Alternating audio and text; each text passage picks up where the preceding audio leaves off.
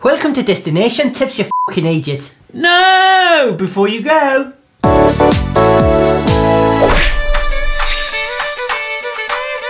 Number one, don't use a phony Irish accent.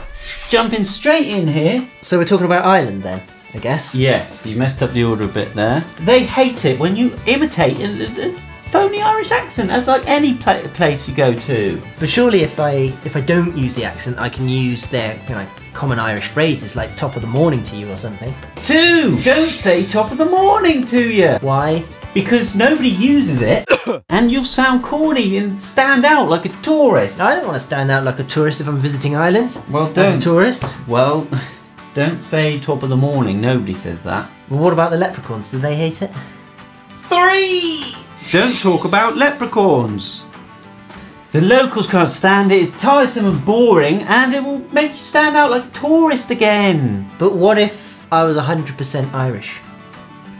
Four, don't brag that you're 100% Irish.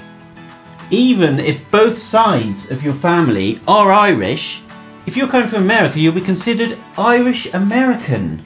But if I've got two parents that are Irish, Doesn't matter if you're from 100%. America. Yeah, but you're from America, so it's Irish American. If you're from Ireland, you can say you're 100% Irish. but what if I kind of told them where my if you parents are from? explained it out, if you cleared up your mess afterwards, it might be okay. Yeah, because I'd say like, well, my dad and mum's from um, Dublin, so that's why I'm visiting Dublin. Five, don't just visit Dublin.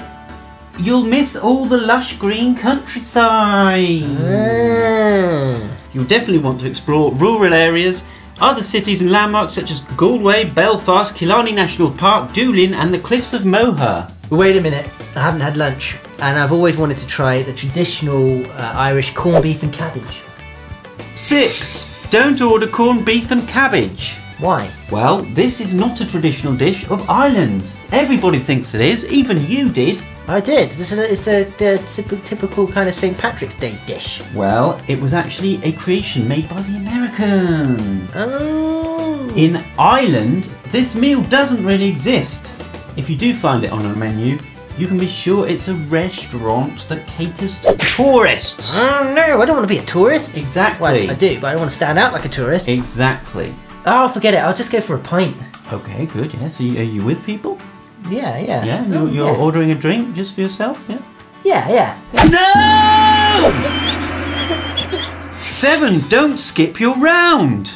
In Irish pubs, it's common practice to order drinks in rounds. If you're in a group of four people, each person in the in the group takes a turn to buy a round. Mm, don't just go off ordering drinks for yourself. Selfish. That's not like back at home. Eight, don't compare Ireland to back home. Not only is it kind of rude, but locals find it very annoying to constantly hear how things like service, food, culture, and people compare to what your home country is like. it's a bit rude. But there, there are a lot of differences though, because like when you're driving along and there's like random people waving to you, I'm like, I don't know you. Nine, don't drive on the right. Ah, that's why they're waving. Yeah. But on country roads, when I was like in the middle, kind of, you know, and you pass someone and you get really close to them, and they're like, what? What? That's because 10, don't avoid the finger twitch. While driving on country roads, it's common practice to raise your hand or a little finger twitch from the steering wheel. When you pass someone, it's a polite way of saying hello to oncoming drivers. Is that right to do that? No, I don't think they'd see that. If you've experienced anything not to do in Ireland, please let us know in the comments below. And don't forget to like and subscribe.